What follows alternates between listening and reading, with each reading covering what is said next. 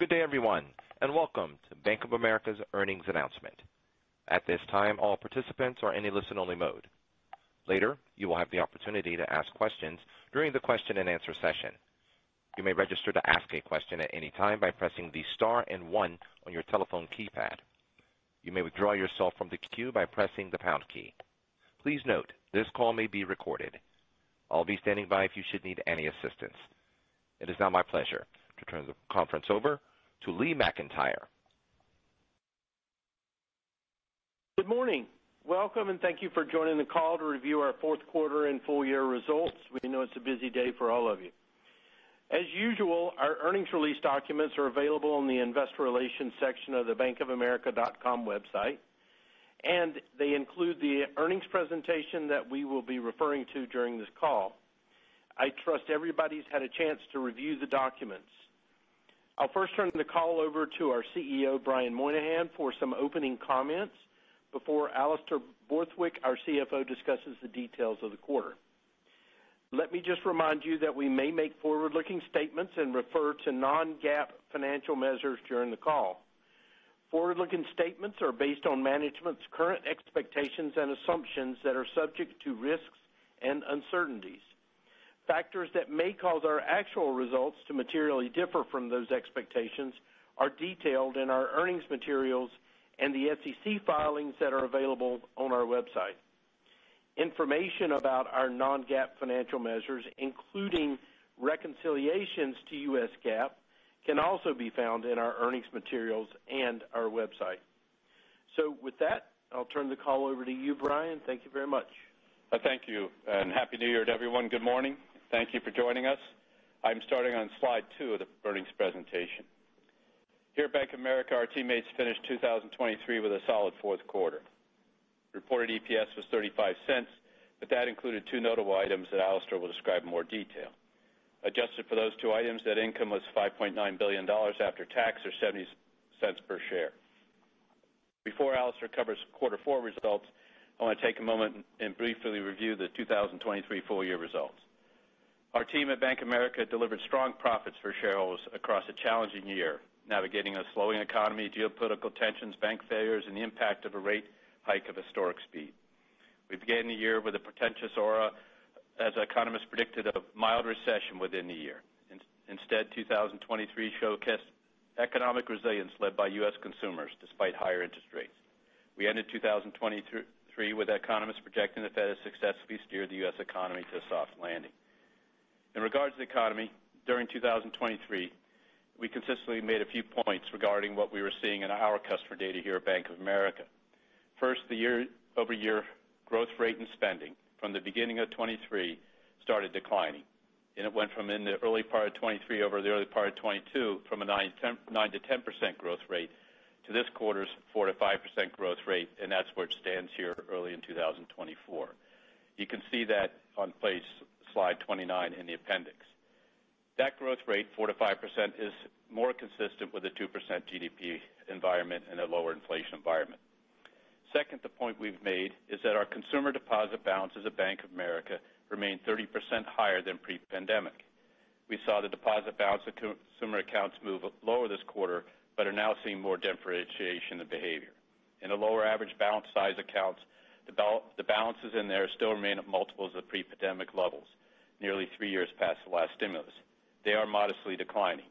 The deposit outflows you've seen in consumer have largely been driven by the higher balance accounts, who've moved their excess balances into the markets to seek higher yields.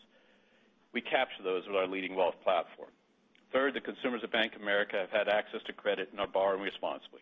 Their balance sheets are generally in good shape, and while impacted by higher rates, remember, many of them have fixed-rate mortgages and remain employed, so they've shown great resilience.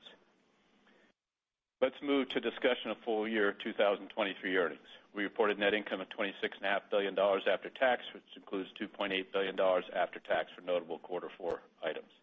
Adjusted for those items, adjusted net income was $29.3 billion after tax. Earnings per share were $3.42, and that grew 7% over 2022. On that adjusted basis, we generated a 90 basis point return on assets and a 15% return on tangible common equity. The year 2023 was characterized by record organic customer activity.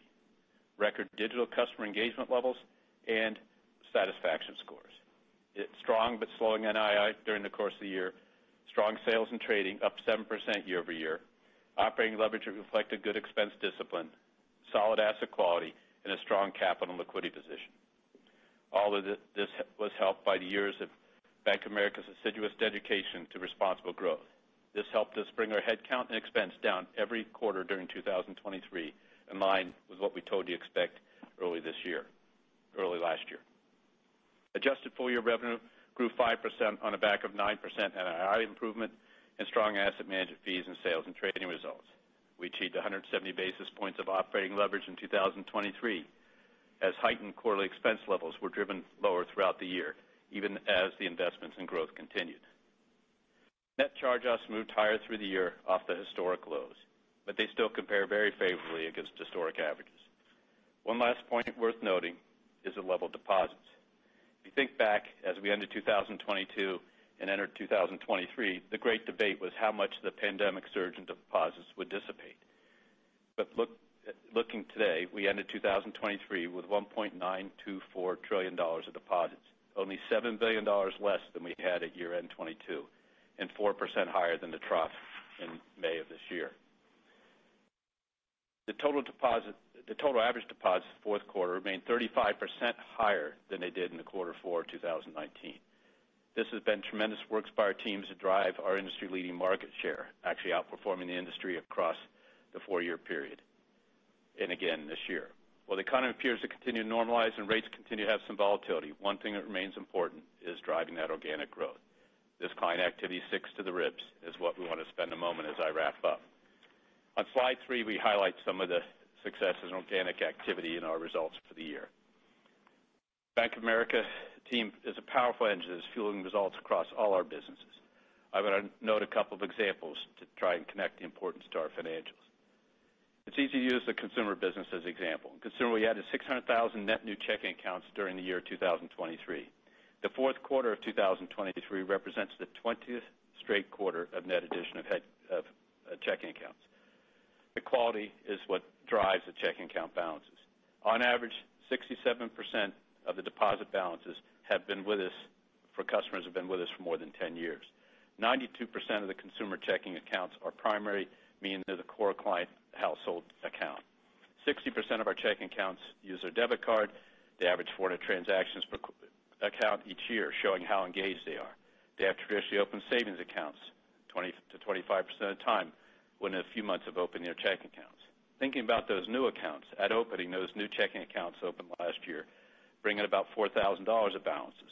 Then they deepen over the next subsequent months to two times that amount. New savings accounts come with those accounts, starting with about $8,000 and then doubling over time. From the total new checking accounts we opened just in 2023, those customers have opened nearly 500,000 credit card accounts with us so far in 2023. Historically, we've seen on average these customers more than double those card balances within a year. Those card accounts, on average, have spent about 7,000 per year, of which a portion will carry a balance. Now, there's always additional opportunity to further serve our clients and to continue to meet them where they are. In addition to the industry-leading digital uh, platforms that we have, we have opened 50 new financial centers in 2023. More than half of those were in our expansion markets. We've expanded our presence during 2023 to 10 markets, including our latest opening in Omaha. In our global wealth management team, we added more than 40,000 net new relationships across Merrill and the Private Bank. Our advisors opened 150,000 new banking accounts for wealth management clients, showing the completeness of the relationship approach. The average Merrill account is over $1 million at opening. The average Private Bank account is multiples of that. As you can see on the slide, we now manage $5.4 trillion of client balances across loans, deposits, and investments of our consumer clients, both consumer and GWIM. We saw $84 billion of flows into those accounts last year. As we switch to global banking on the lower left-hand side of the slide, we added clients and increased the number of products per relationship. Just like in consumer, we have seen good growth in customers seeking the benefits of our physical and digital capabilities, but most importantly, our talented relationship managers provide financing solutions, treasury services, strategic advice for clients with local and global needs. We added roughly 2,500 new commercial and business banking clients this year. That is more than twice what we added in 2022. We look forward to continue to drive with those, grow with those clients in 2024 and add even more. This capitalized on a multi-year build of our relationship management team in the global banking businesses, especially in product expansion also, especially in the global transaction services area and mid-market investment banking. As we think about global markets, we continue to see strong performance from our team with 7% year-over-year revenue growth, the strongest we've had in many years. We see digital tools our customers have access to across the board, helping us enable this activity at lower costs.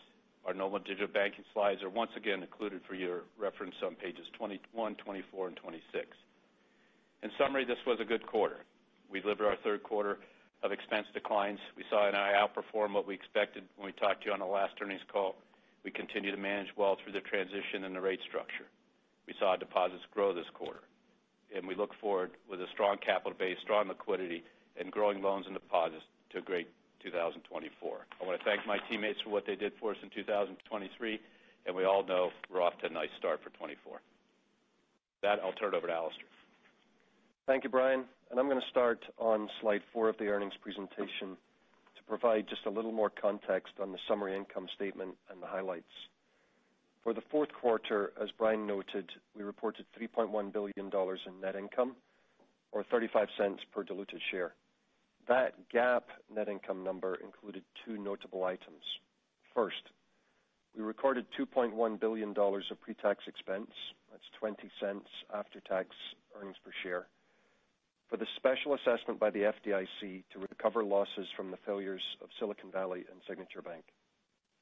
Second, on November 15th, 2023, Bloomberg announced that they would discontinue publishing the Bloomberg Short-Term Bank Yield Index rate after November 15th, 2024. and Many commercial loans in the industry had BSBY as a reference rate prior to SOFR becoming industry standard. As noted in an 8-K we filed earlier this week, we came to a conclusion in early January that BSBY cessation would not get the same accounting treatment allowed under LIBOR cessation, and therefore cash flow hedges of BSBY-indexed products related to BSBY cash flows forecast to occur after November 15th, 2024, would need to be moved out of OCI and into earnings in the fourth quarter 2023 financials. So as a result of the accounting interpretation, we recorded a negative pre-tax impact to our market-making revenue of approximately 1.6 billion. I just want to uh, reinforce that's an accounting impact. It's not an economic change to the contracts, and we'll see an offset to this over time through higher NII, mostly occurring in 2025 and 2026 after BSBY ceases in November of 2024. The accounting lowered CET1 by 8 basis points during the quarter, and we will recapture that in the next two or three years. Adjusted for the FDIC assessment and the BSBY cessation-related impact, Q4 net income was $5.9 billion, or $0.70 per share. On slide five, we show the highlights of the quarter, and we reported revenue of 22.1 billion on an FTE basis. And excluding the BSBY cessation impact, adjusted revenue was 23.7 billion and declined 4%, driven by net interest income. Fourth quarter revenue is a tough year-over-year comparison as NII peaked in the fourth quarter of 2022 at 14.8 billion before slowly moving lower over 2023. Outside of NII, we saw good growth in treasury service fees and wealth management fees, and those were offset by higher tax-advantaged investment deal activity, creating higher operating losses and the more tax credits associated with them and recognized across periods. Expense for the quarter of 17.7 billion included the 2.1 billion FDIC charge. So excluding that charge, adjusted expense was 15.6 billion and consistent with our prior guidance. That allowed us to invest for growth as well as use good expense discipline to eliminate work and reduce headcount. And on an adjusted basis, this then is the third quarter of sequential expense decline this year. Provision expense for the quarter was 1.1 billion. That consisted of $1.2 billion in net charge-offs and a modest reserve release reflecting the improved macroeconomic outlook. Net charge-offs reflect the continued trend in consumer and commercial charge-offs towards more normalized levels, as well as higher commercial real estate office losses. Lastly, our income tax expense this quarter was a modest benefit as credits from tax-advantaged investment deals offset the tax expense on the lower earnings in Q4, driven by the notable charges. So let's review the balance sheet on slide six, and you'll see we ended the quarter at $3.2 trillion of total assets, up 27 billion from the third quarter. I'd highlight here both the $39 billion growth in deposits and a decline in cash on balance sheet of 19 billion. Overall, you'll note that debt securities increased 92 billion, and that included a $9 billion decline in hold-to-maturity securities and a 100 billion increase in available-for-sale securities, reflecting short-term investment of liquidity from all of these activities. We continued to put money into very short-term T-bills and hedged Treasury notes this quarter, and those are essentially earning the same rate as cash. And you can see our absolute cash levels remain quite high. As Brian noted, liquidity remains strong with 897 billion of global excess liquidity sources. That was up 38 billion from the third quarter of 2023, and it remained 321 billion above our pre-pandemic level in the fourth quarter of 2019. Shareholders' equity increased $5 billion from the third quarter as earnings and AOCI improvement were only partially offset by capital distributed to shareholders. The AOCI improved 4 billion, reflecting both the previously mentioned BSBY-related reclassification into fourth quarter earnings and other AOCI improvements. This included some improvements in other cash flow hedges, which don't impact regulatory capital, driven by a decline in long-end rates. During the quarter, we paid out 1.9 billion in common dividends, and we bought back 800 million in shares, which more than offset our employee awards. Tangible book value per share is up 3% linked quarter and 12% year-over-year. Turning to the regulatory capital, our CET1 level improved to $195 billion from September 30th, while the CET1 ratio declined 9 basis points to 11.8 and remains well above our current 10% requirement as of January 1st, 2024. We also remain well-positioned against the proposed capital rules as our current CET1 level matches our 10% minimum against anticipated RWA inflation from the proposed rules.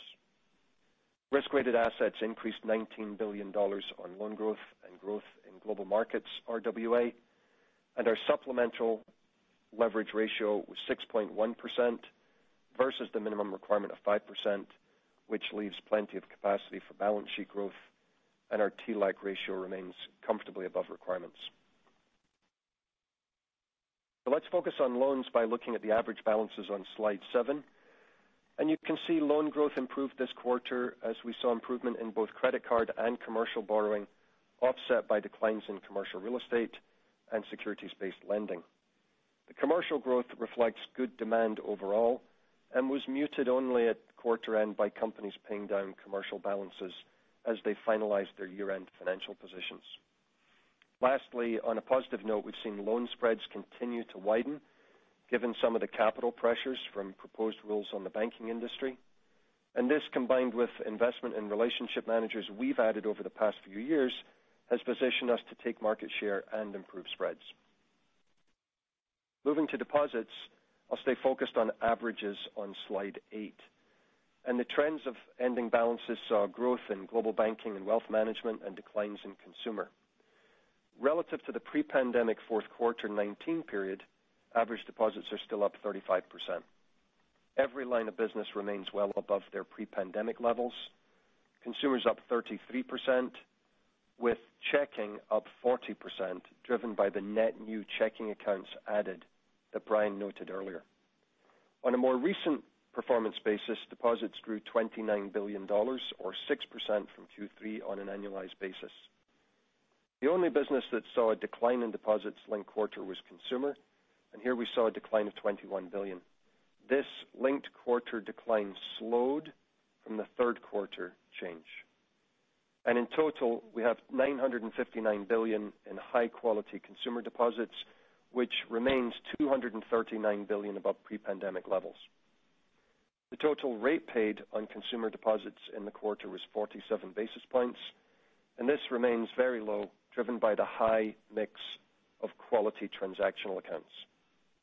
Most of this quarter's rate increase remained concentrated in CDs and consumer investment deposits, which together only represent 15% of the consumer deposits.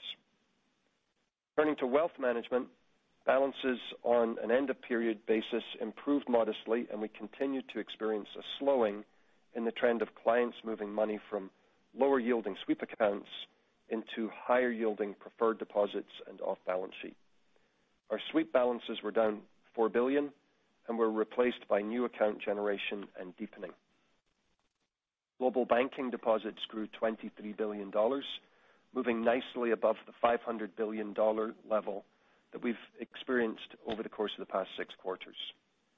These deposits are generally transactional deposits of our commercial customers. They're the ones they use to manage their cash flows. And non-interest-bearing deposits were about 33% of deposits at the end of the quarter. Now, when we turn to excess deposit levels on slide nine, you can see deposit growth exceeded loan growth this quarter, and that expanded our excess of deposits above loans from Q3 to about 0.9 trillion, which is well above the 0.5 trillion we had pre-pandemic. You can see that in the upper left of slide nine, which is where we've used and shown you how we think about managing excess liquidity. We continue to have a balanced mix of cash available for sale securities and held-to-maturity securities. And This quarter, the combination of the cash and the AFS securities now represent 51% of the total 1.2 trillion noted on this page. You'll also notice the change in mix of the shorter-term portfolio as we began to lower cash and increase available for sale securities, buying mostly short-dated T-bills with similar yields. You can note also the hold-to-maturity book continued to decline from paydowns and maturities pulling to par.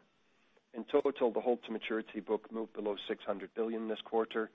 It's now down 89 billion from its peak, and it consists of about 122 billion in treasuries and about 465 billion in mortgage-backed securities, along with a few billion others.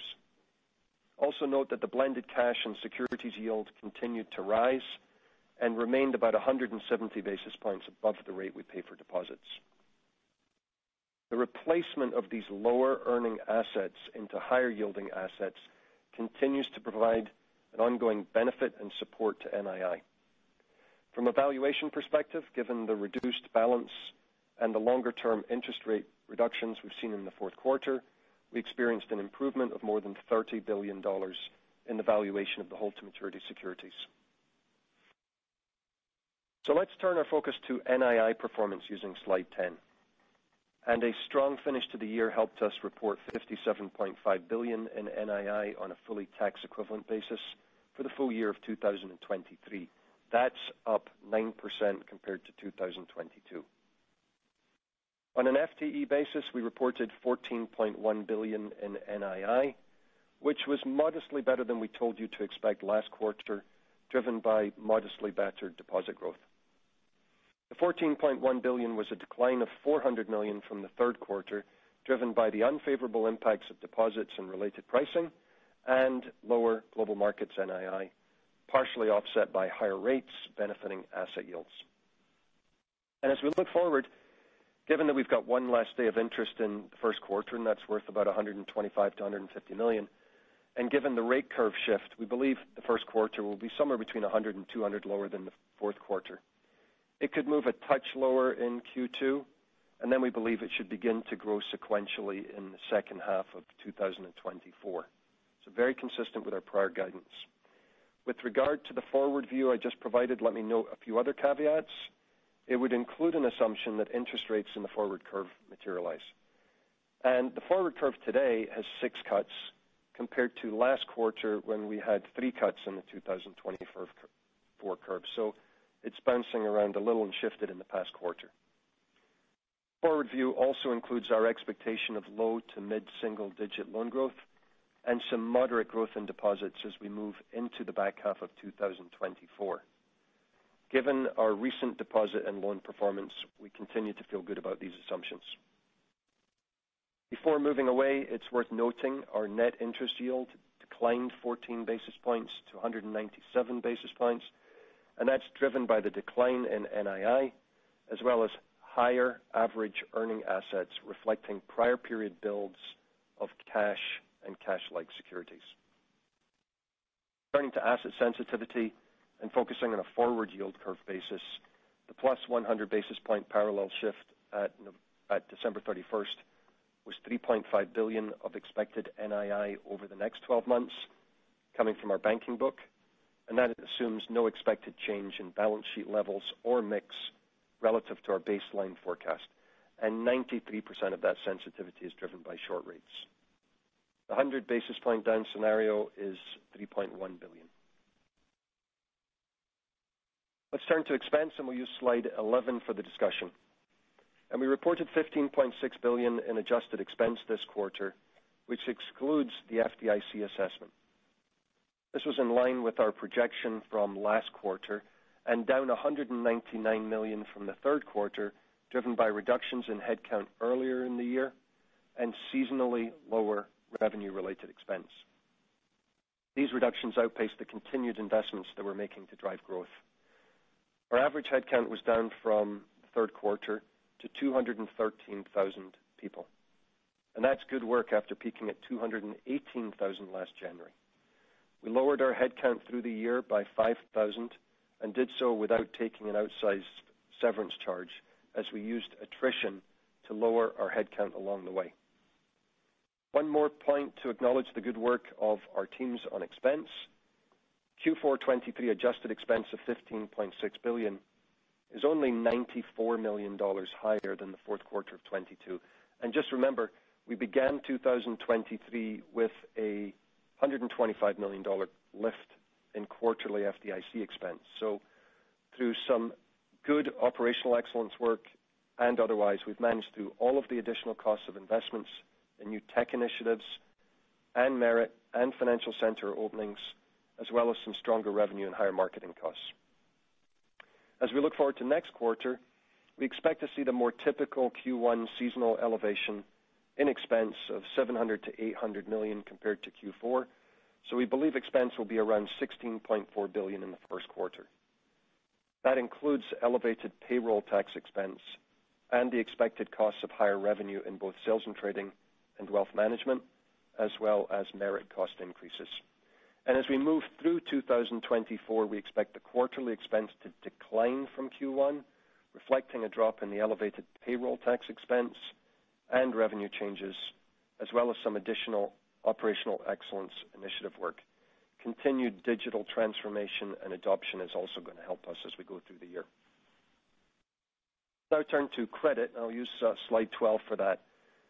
Provision expense was 1.1 billion in the fourth quarter, and it included an 88 million reserve release due to a modestly improved macroeconomic environment. On a weighted basis, we're reserved for an unemployment rate of nearly 5% by the end of 2024 compared to the most recent 3.7% rate reported.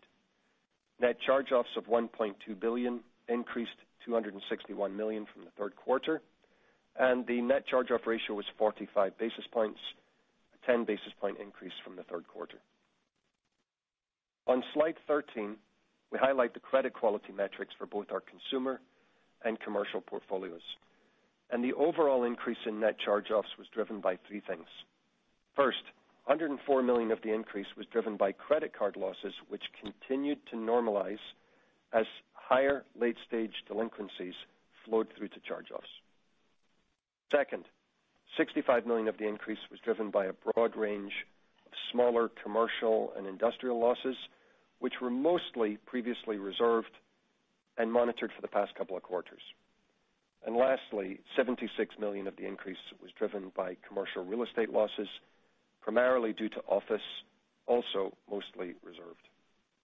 In the appendix, we've included a current view of our commercial real estate and office portfolio stats provided last quarter, we've also included the historical perspective of our loan book de-risking and long-term trend of our consumer and commercial net charge-offs.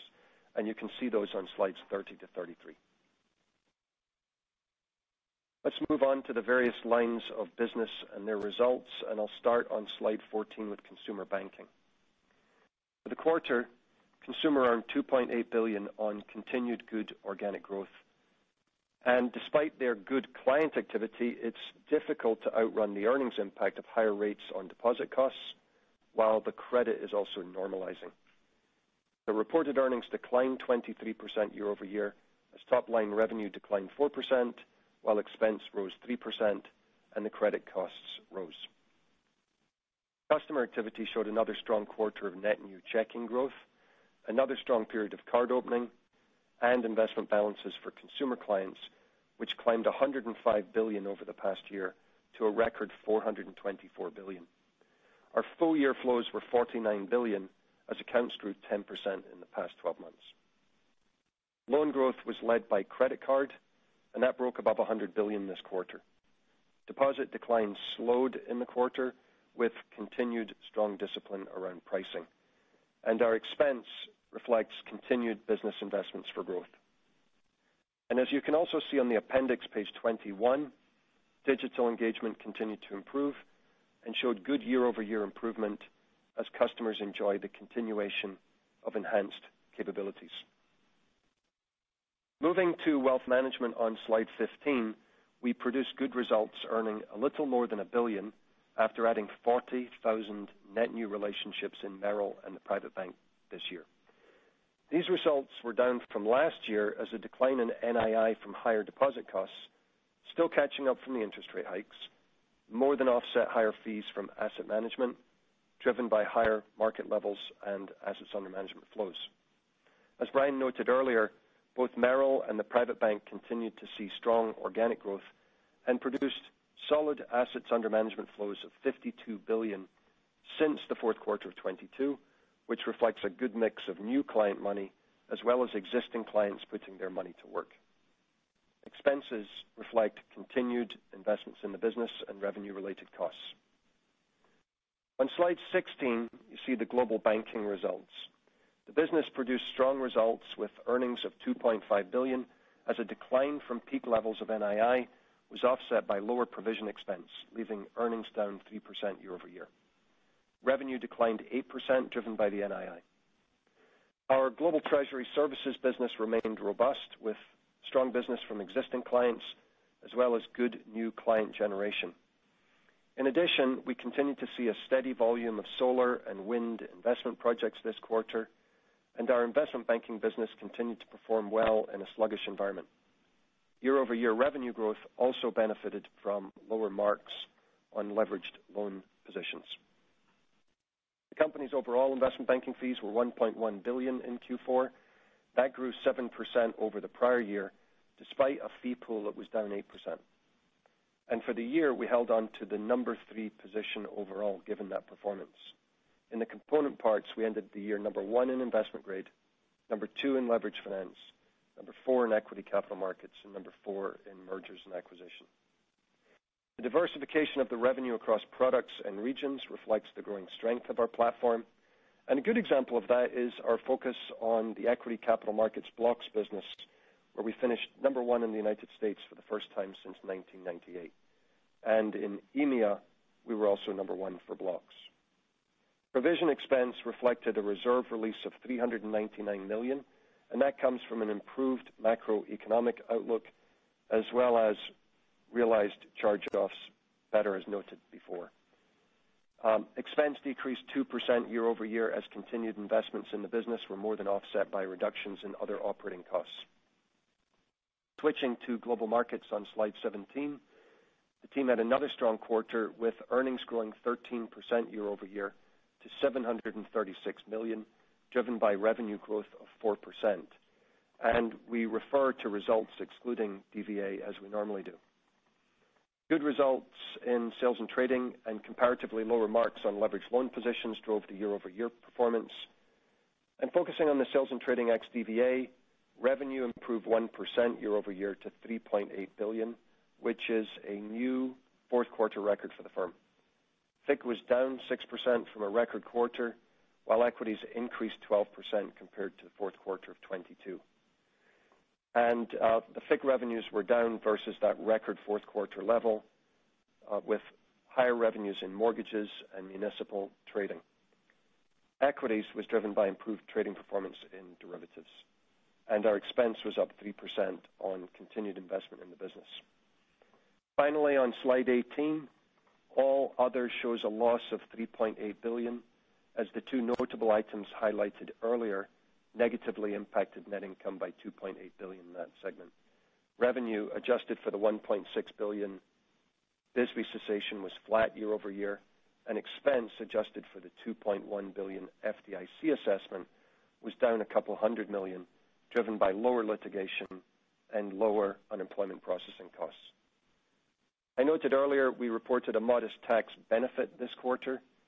The tax credits from tax-advantaged investment deals throughout the year, including their benefits in the fourth quarter, exceeded taxes on reported earnings because we had the two notable items that lowered results this quarter.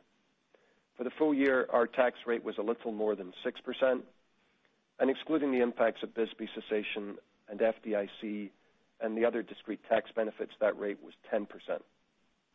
And Further, excluding our investment tax credits, our tax rate would have been 25%. So thank you. And uh, with that, we'll launch into the Q&A, please. At this time, if you would like to ask a question, please press star one now on your telephone keypad. To withdraw yourself from the queue, you may press the pound key. Once again, that is star one. We'll take our first question from Jim Mitchell of Seaport Global.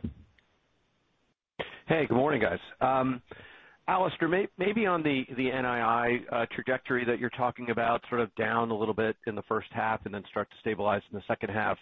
Um, and you're building in six cuts, but a lot of those cuts are coming starting in sort of 2Q and beyond. And given your asset sensitivity, why would we expect NII to stabilize? Is that just sort of expected growth in deposits and loans? Just kind of help us think through your assumptions on the NII for 2024. Yeah. Well, I think, Jim, going back to last quarter, I don't think our our views have changed a great deal, so our guidance isn't changing much either in that regard. You know, if anything, Q4 deposits were a little better than we expected. So I think you see in the... We sort of thought this quarter might be around 14 billion. It was a little better than that. So that's obviously a good starting point. Now, when we look forward off of that slightly higher number, if you think about Q1, I'm thinking about it in terms of a day count that might be 150 million, let's say. So from where we are, that's going to get get us to somewhere between $13.9 billion and $14 billion. It's going to be in that kind of a range. Q2, we see going down just a little bit more. That's a little bit of deposit seasonality in Q1 and a little bit of um, just catch up on rate paid and some rotation. But at that point, we see growing in the back half of the year, and that's largely, yes, deposits growing. It's loans growing a little bit. It's some restriking of the securities that come off the balance sheet, and it's restriking some of the loans that come off the balance sheet. So it's all of those things. You're right. You know, when we got together last quarter, we thought there might be three rate cuts. Now it's up to six, so that's obviously a that's a little harder, but the deposit picture's been a little better. So no, no, no particular change at this point. Okay, that's fair. And maybe just as as a follow-up, just on loan growth, um, what do you think... We we all see the card growth, but outside of that, it's been pretty pretty muted. Um, we're looking at rate cuts. Maybe that's a little bit better for demand. How do you think? What are you seeing on the commercial side in terms of demand, um, and what what changes the dynamic? Well, I mean, you look back, if you look at our loan growth uh, in the materials, it's been a pretty slow loan growth environment. Um, and I think what's going on underneath it is, obviously, you've got the economic activity. Offsetting that a little bit is lower revolver utilization. And you can sort of see, you can sort of see why, with rates being much higher, it's a little more expensive to borrow revolvers. So as corporate cash balances have come up and deposits have come up, that's just a natural headwind. That that's beginning to fade. We kind of feel like the loan growth ought to be low single digits. Um, normally, we think about it as kind of GDP plus just a little bit of market share. So in a low GDP environment, that's sort of what we're expecting for loans this year. And then we'll just need to see how the rate structure develops. Okay. All fair. Thanks.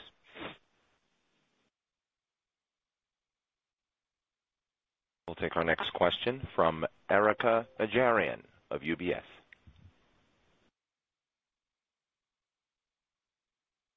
Ms. Najarian, please check your mute switch. Your line is open. Hi. Sorry, rookie move. I apologize for that. Um, hmm. Alastair, um, thank you for giving us more um, detail about how your NII trajectory is going to be for the rest of the year. I'm wondering if you could just give us a little bit more color on what you're expecting for you know deposit repricing and perhaps for BofA specifically, perhaps the liability mix in the second half of the year. So if you expect deposit growth to come back, I think a big question that the market has is, you know, what is the repricing power to the downside that these banks have you know, as the Fed cuts rates? So I think that would be really um, good color for the market to have. Yep. Okay. First of all, if I go back over the trajectory of deposits through the course of 2023, we troughed at 18.45, and we ended at 19.25. So Underneath there, there's $80 billion of growth in deposits since May. So that obviously informs our perspective around how we think about deposit gathering at this stage.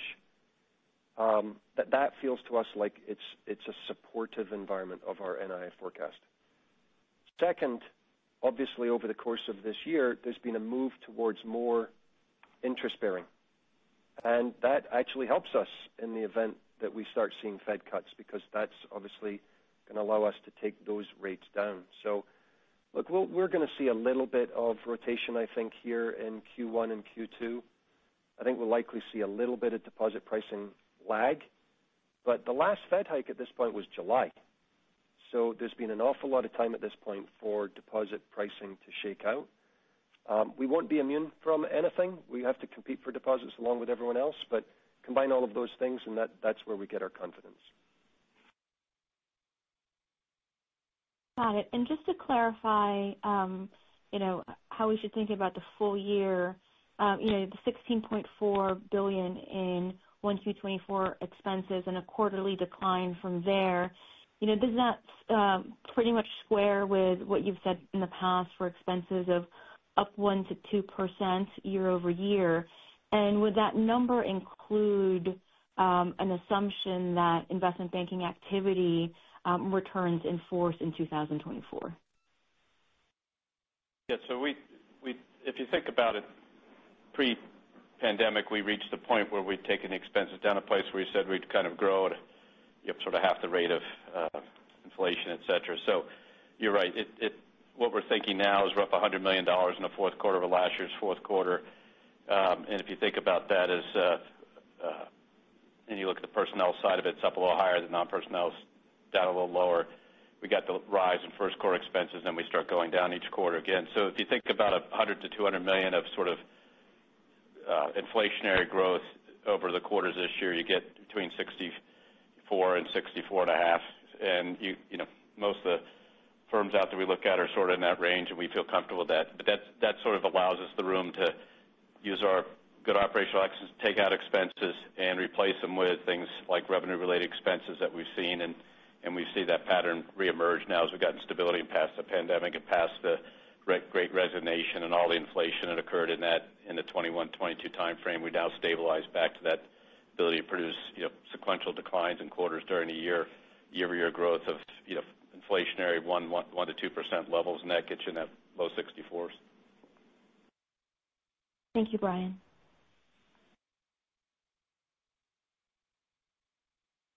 We'll take our next question from John McDonald of Autonomous Research. Hi, Alastair, um, Brian. Alastair, I wanted to go back on the NII, and maybe you could help us. It's so hard for us to square you know, the NII outlook with the rate sensitivity disclosure you know, that you have in the slide with the 100 basis point you know, parallel shift down is 3.1 billion. Maybe just, is there some caveats about how in the real world it doesn't play out like the disclosures? Um, you know, we've already seen rates come down on the long end you know, almost 100 basis points. So I guess it just, where's that $3.1 billion headwind in your number? Because it's very impressive, obviously, to be able to kind of keep it flat despite that using the forward curve. Thanks. Yeah. Well, I mean I think that the main thing is, number one, it obviously assumes a parallel shift instantly. Mm-hmm. So, you know, the the rate cuts that are in the forward projections, the earliest one comes March, for example. So you're not going to see a full year's worth of Uh, rate cuts all in space of the first day or so. That it doesn't work out that way. So, John, I think the way to start would be just use what we've disclosed, which is that 3.1. You can see what we say in terms of how much of that is the short end.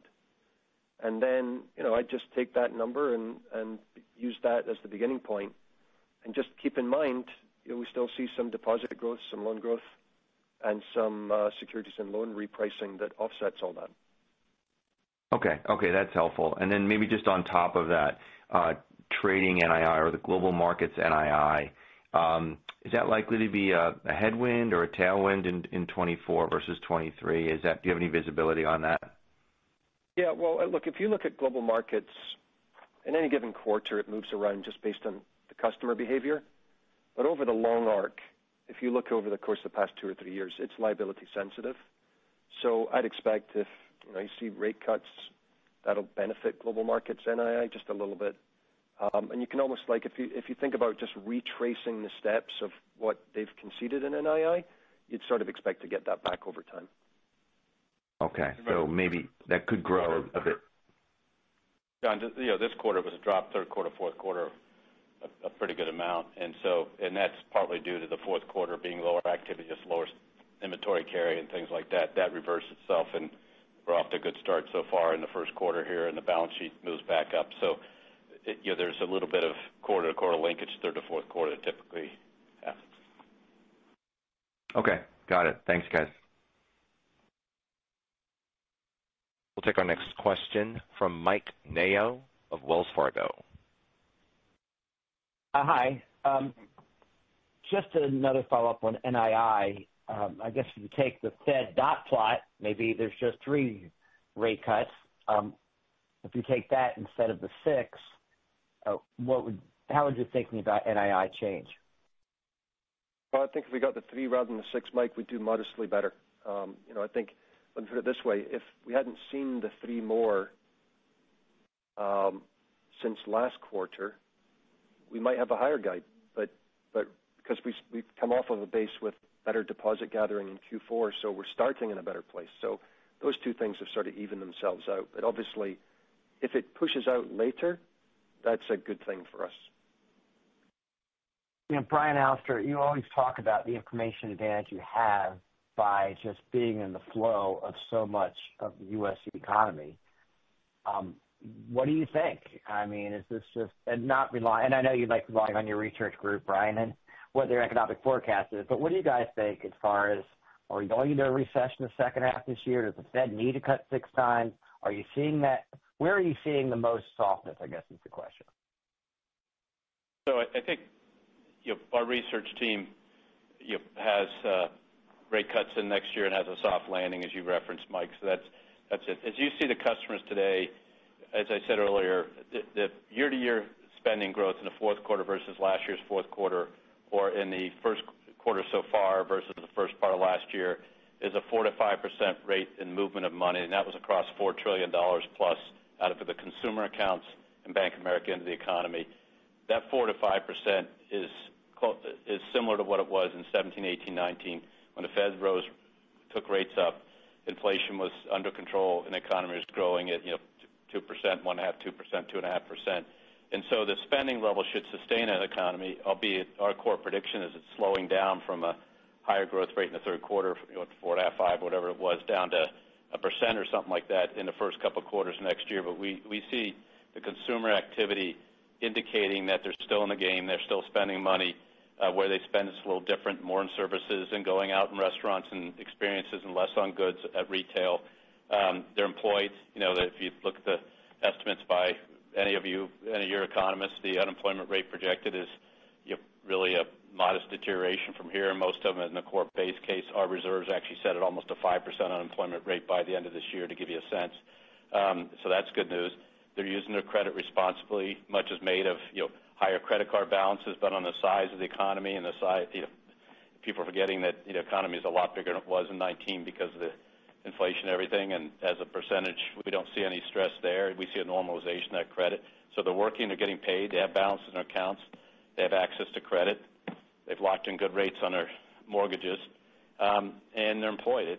We feel it's good. So we think the soft landing is a core thesis, and our internal data supports what our research team sees. So they get you know they see it also through our institute.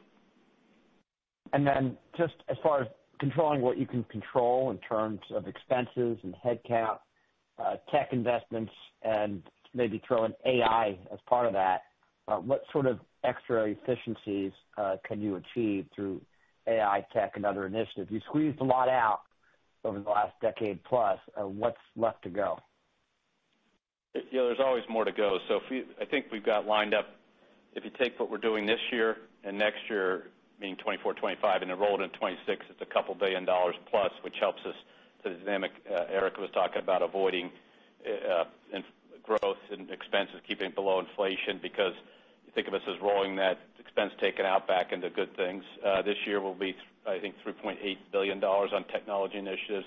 That's up um up from 2021 to 2022 by 500 million or more, and then sort of flattish 2022 to 2023. They're being applied in different ways. Um, we added relationship managers across the board. We keep opening the branches. We're largely through the rehab of the branches that we're keeping. And these are all spending to grow, and that's what you're seeing. So net new checking accounts, 600,000 for the year. That's 20 straight quarters net checking account growth, all good core accounts. Flows into the asset management business, 80 billion or more. In our Merrill Edge program, the advertising has driven the business. We have 10% more customers, and those customers, Uh, which is 300,000-400,000 customers added in the last 12 months. Those customers bring an average opening balance of $80,000-$100,000. To give you a sense, they're not small accounts. That's good. So we're just investing, but uh, there's 1,000 levers. None of them are simple. But even this year, when we said we got to get the headcount growth back in yeah, back in alliance after the Great Resignation in 2022, and we had to hire fast. We went from 218,000 people in January down to 212,900 at the end of the year.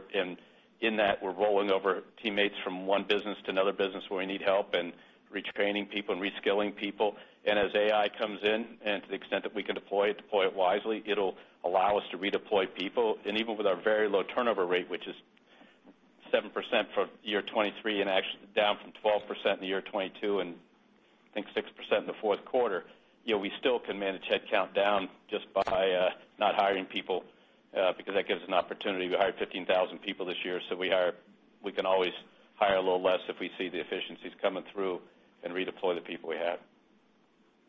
All right. Thank you. Our next question is from Matt O'Connor of Deutsche Bank. Hi. Just thoughts on capital allocation from here. Um, Brian, I think there was some, and sorry if I missed it in the beginning, but I think there was some media coverage about you guys, or you talking about leading into markets with capital. I don't know if there's any way to kind of size that, and then just broadly speaking, like how you allocate capital from here or buyback levels and all that stuff. Thanks. Yeah. Uh, I'm not sure of the media report, but in the end of the day, Jim DeMare team have done a great job So uh, deploying capital and growing market share in the sales and trading business. So they're up 7% year-over-year in revenue. Uh, FICC was up 11% for the year. Equity was down a little bit, down 1% or so. And that's they've done a great job, $17.6 billion of revenue, highest by a lot over the last few years. And think about in the 2019 timeframe, we were 13 billion in revenue. So they fundamentally moved up. That was deploying more balance sheet. A little bit more capital inherently, but not a lot. They're not taking a lot of risk. They made they made money every trading day in 2023 again, I think. And so they do a great job of serving the clients. Don't think it's a big capital, a massive amount of capital. They get the capital they need. They have the balance sheet and the risk appetite they need, but we're continuing to put money towards that business because they've proven to be successful. We gave them the balance sheet a few years ago, and they and they were able to deploy. Um, more broadly, we pay out the dividend. We then have a bunch of capital. Today, we meet the standards as best, as Alastair said, we could divine from the rule, and we'll see what the final rule looks like Uh, when it comes out. But right now, the $194 billion of CET1 uh, is the level of notional CET1 we'd have to meet the RWA inflation. I'm not saying it's a good rule. I'm just saying we make the math work. And so from now on, we can basically deploy capital to the dividend payment, a couple billion dollars a quarter, and then everything above that will go to support business growth if we have it, build a little bit of cushion we need to build over some period of time to meet these new rules if they come through. And then share buybacks, which we bought 800 million or so last quarter, and you'd expect that to keep ticking up.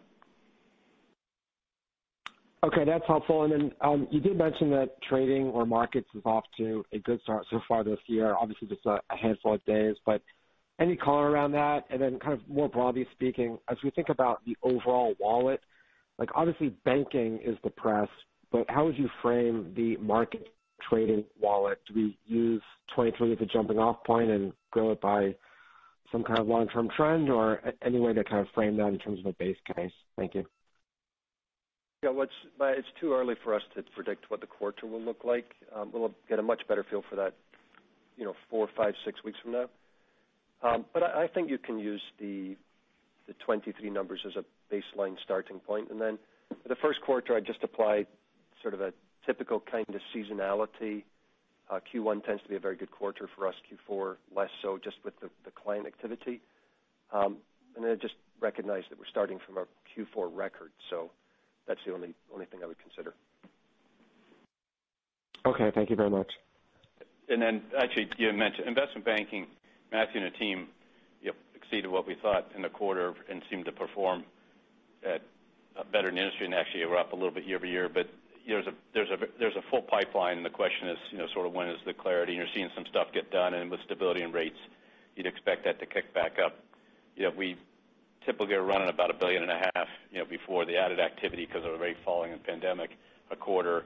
We're now $1 billion, $1 billion, $2 billion. You expect it to move back in those levels. And we are actually been gaining share uh, over the last few quarters as the market's uh, gone down around us. We held our relative position, grew it.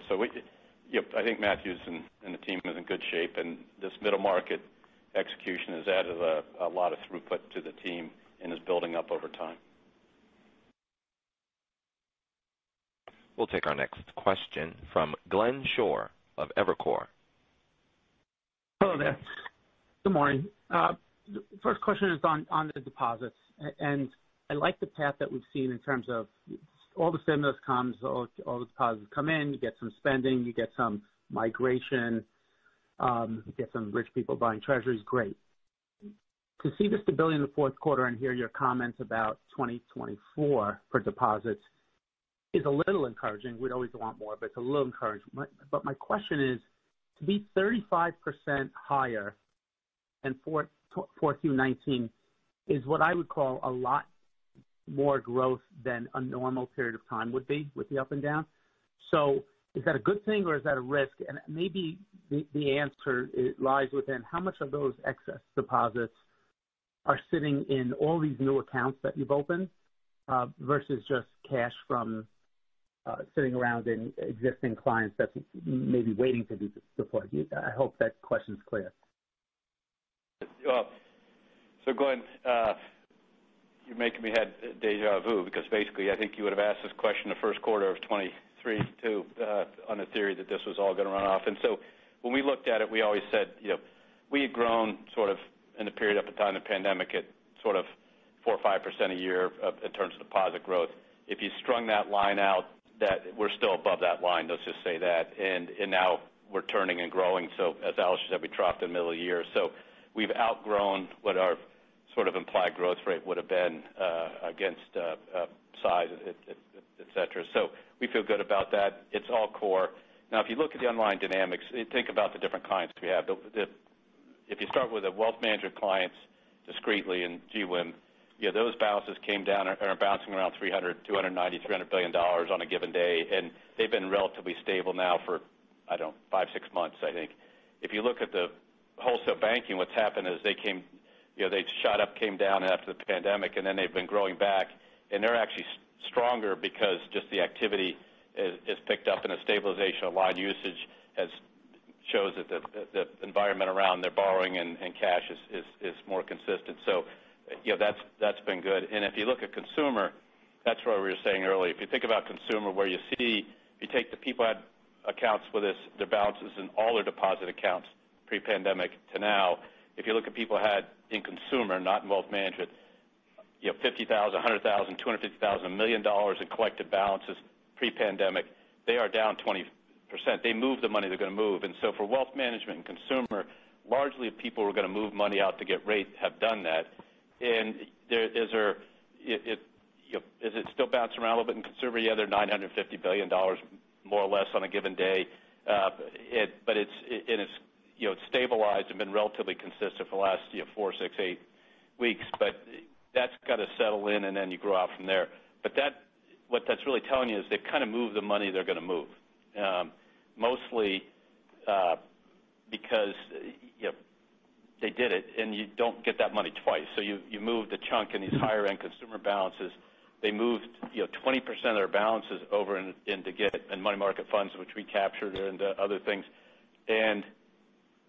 They don't have to move again because that was accumulated balances that they had in a zero interest rate environment pre-pandemic, plus whatever uh, other things they got. So if you look at the slide eight, you can see the deposit slides laid out by non-interest bearing and interest bearing. But you know, the key is that consumer was 700 going into the pandemic, sits at 950 today. And if you look at the checking, it's still up $140 billion. And that's kind of bouncing around. You can see it's moved down a little bit, but that's really the high people with high-end checking balances that have moved it into the market.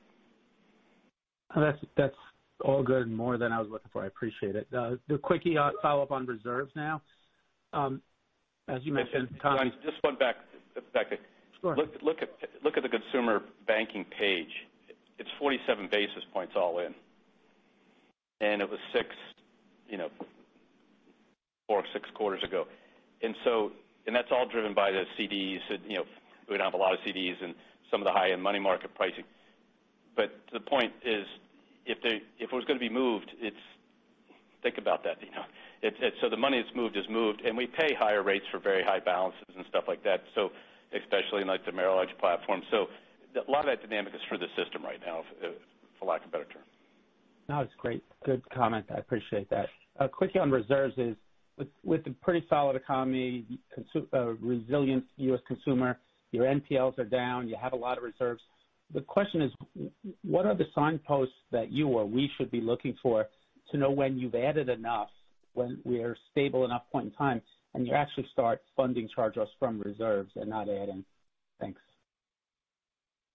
I think we're getting pretty close now uh, because things are beginning to stabilize. They're beginning to normalize. You know, this is a period of transition for the economy. Um, and it's a period of transition for our clients, too. A lot of them are dealing with you know higher interest rates, and they're just beginning to moderate and change their spending behaviors. So we've seen a trend over the course of the past few quarters. It's it's pretty predictable around the consumer side. You can see that in our disclosures. I think it's slide 12 and 13. That's going to bounce around over the course of the next couple of quarters now that we're back towards 2018, 2019 levels. It's going to settle in, we think, in the first half of this year. Um and then on the commercial side, the asset quality remains really in a very good position. We happen to have a couple of names that popped up this quarter. But to your point, we were pretty fully reserved against them. That wasn't a surprise to us. We've been seeing those for the course of the past six months. We think we're getting close there, Glenn, and obviously the closer we get to a soft landing, the better we're going to feel about that. Glenn, as you think about it, when you said reserves, um, remember, because under CECL and stuff, we've always got sort of the lifetime reserve methodology, which we're all still getting uh, clear now. We've operated under for a few years. This quarter, we actually had commercial reserves come down to pay for the charge-offs on the specifically prior period reserved uh, properties Uh, or loans, and that happened. And so you saw some of that. Be careful on the consumer side because basically, the pay-as-you-go side, the consumer side is still building up to a nominal amount of charge-offs consistent where it was in 2018, 2019. If you look at card in 2018, 2019, the uh, charge-off rate across the eight quarters range from a low of 290 and a high of 326. Um, we're at 307 today, but we're $6 billion-$8 billion higher balances, so you got to be careful the nominal amount to get that right. If you go look at it more broadly in all the company, we had a 45 basis points this quarter, and the range in those eight quarters is 34-43. But What's different is the CRE piece of that and the charge-off. So you know, the reserve to loans and all the classic factors look at are very strong. The reserve has set itself with basically half the reserve is driven by the adverse case scenarios, to give you a sense, versus the base case, um, and then some judgmental on top of that. And so as it becomes clearer that we're in a soft landing, to Alastair's point, there's less allocation to those scenarios. We always will make some, but when you put all that together and weight it it has unemployment pushing up in the high fours. You you look at unemployment today, it's nowhere close to that, and there's no prediction to get there in a base case. So that that's what will start to ease up on the general reserving. But remember, on card, it's a bit of pay as you go. And you know, We were running around 6% reserves. We're up to 7% against card now. You know, so there might be a little bit coming back, but not not that. I'd rather have the growth to sop that up down to 6% in cards than give them back the reserves. That's great color. Thank you for all that. We'll take our next question from Ken Usdin of Jefferies. Hey, thanks. Uh, good afternoon. Uh, just a technical clarification on that BSBY $1.6 billion. Um, I presume that you start to get that back mid-quarter 4Q next year, given the November 15, 2024 termination. And then does it just run out ratably? Just wondering how how over what exact period of time you get that $1.6 billion. Yeah. Okay. Hey, Ken, Happy New Year. It's this year's 2024. Um, Correct. Sorry. Ken, yes, you got it right. Uh, we'll get some of it back at the back end of 2024. Uh, we'll get a little bit in the fourth quarter. And then I'd say we get most of it back in 2025, most of the remainder back in 2026. That's the easiest way to think about it. Okay. You had it right. Is it straight line or is it a little bit front load? Like, I just want to get- A little more front load. Is it just a straight line divided by, or is it has a little bit of like a tail? No, it's got a little more in 2025 than 2026. Okay. Okay, I got it. Thank you. Um and just one question. Can you just remind us, the brokerage fees this quarter felt the impact, I think you said it, of the of the soft averages from this quarter. And so um I think, should we expect to see just from the markets bounce that we saw in the fourth quarter, that to play well into the first quarter starting points from from the management fees perspective? Yeah, I think you should expect our global markets performance to continue right now. I mean, obviously, there's a pretty constructive environment for the markets business at this point. I don't think anything's changed there. There's a lot of client repositioning going on. Uh so yeah, I think the fourth quarter is sort of the right number to start with. And then you just got to, I think, adjust for the fact that obviously you've got a step up in their activity in Q1. Now, if you're I I don't know if I misinterpreted. If you're talking about the wealth management- Yes And Those fees are obviously just going to work on the monthly lag based on where the markets go over time. So um obviously the markets are elevated right now, and that that should portend well for the future. That's what I was getting at. Yeah. Thank you. Right. Just confirming that we didn't see the benefit yet. That comes further based on the averages and how that'll play forward, presuming the market hangs in there. Correct. That that tends to be a lag by a month or so, so. You'll see that in Q1. Okay. Got it. Thank you. We'll take our next question from Ryan Kenny of Morgan Stanley. Hi. Thanks for taking my question. Um, just following up on a few questions ago on the commercial credit side. So the commercial net charge-offs did roughly double sequentially, and you mentioned that there were a few customers that popped up. Should we interpret that to mean that the pace of deterioration decelerates and it was just a one-off, or is there anything else going on under the hood there? Yeah. So I don't think, uh, let me put it this way. I think it's too early to conclude that it's anything other than just a momentary spike up. But if you look at that chart, essentially what's going on is two things. First, we've got a little bit of office, and that's going to bounce around over the course of time. It just takes a while to resolve that portfolio. It's pretty small for us, obviously. We feel like we're doing all the right things with it, but that was a little elevated this quarter relative to the prior three. And then more broadly in commercial, there were a couple other things that took place this quarter. Again, we were pretty fully reserved against them. So uh, we sort of saw those coming. Um, asset quality generally in commercial remains in a very, very good place outside of the office sector. And you can again see that in terms of look at our reservable criticized, that declined this quarter. So I don't think there's any change there. The issue is just that we're starting with such small numbers in commercial that anything appears like a spike. Thanks. Um and just one more clarifying question on NII. So in this scenario with the six rate cuts, can you help us understand how you expect the deposit mix to migrate? And specifically, with the migration from NIB to IB deposits no grind to a halt, or is there any scenario where NIB deposits actually start growing again?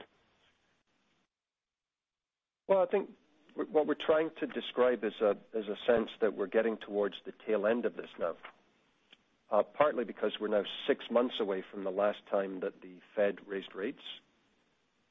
And then partly because if we do have rate cuts, it's going to start to disincent people moving out of um, non-interest bearing. So that's what we're describing over the course of time. We've got to see how that develops through the course of the uh, year. Thanks. We'll take our final question from Gerard Cassidy of RBC. Hi, Brian. Hi, Alastair. Hey. You guys have obviously done a very good job in the consumer banking area uh, with digital banking. And I frame that for you guys in this question. We hear a lot about AI and what it could do for the banking industry. When you look out over the next three to five years and you invest in AI to improve efficiencies, could it have a similar impact what digital banking did for consumer banking you know, pre-iPhone to where we are today in your business? Or is it going to be more like blockchain, where there was a lot of discussion about the future of blockchain, but we don't hear much about that anymore. Do you guys have a view on what AI could be for your business over the next three to five years? I agree with you. I'm not sure that there's a relevant comparison to blockchain. Uh but let's just focus on AI. If you look at 21, you can see the digital movement. One of the things in the digital movement you see is Erica in the lower left-hand page, uh lower left hand chart on page 21, Gerard. And you can see that in the fourth quarter of the 170 million interactions with Erica, where people effectively answered one question, another 2 million people from last year to this year using it on a base of 16 up to 18 million people using it, unique users.